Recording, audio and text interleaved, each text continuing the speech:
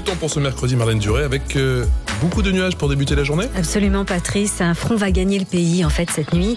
Euh, il va apporter quelques pluies, surtout beaucoup de nuages, et on va le retrouver en matinée de la Vendée, du Poitou-Charentes aux régions du centre-est, en passant par le Berry, le Nivernais, le Limousin, le nord de l'Auvergne, le Lyonnais.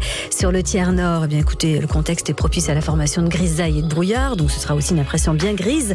Quelques grisailles, allez, on les oublie pas au sud des Landes, le long de la Garonne, et il faudra patienter quelques heures pour voir des éclaircies percer. Alors, euh, du côté du, sud du nord-ouest, pardon, elles seront un petit peu plus timides. Quelques gouttes sont encore possibles. Et pour trouver du soleil du matin au soir, direction les Pyrénées, les Alpes, la basse vallée du Rhône, le pourtour méditerranéen, la Corse, un grand classique, une sensation assez printanière et encore un petit peu de Mistral quand même qui devrait rester soutenu euh, en matinée. Les températures au plus chaud de la journée, 10 à 20 degrés, ça reste doux pour la saison. 10 à Cherbourg, Lorient et Maubeuge. Nous aurons 12 à Amiens, Angers ainsi qu'à Paris, 14 à Mulhouse et Clermont-Ferrand, 15 degrés à Lyon, 15 degrés également dans toutes les grandes villes du sud-ouest, 16 à Montélimar et jusqu'à 20 degrés à Montpellier et Perpignan. Merci beaucoup Marlène, j'ai bien compris. J'ai encore le temps d'acheter un petit ticket pour les, Pyrénées, direction des Pyrénées, c'était le journal. Comme Ou le Grand. Bleu.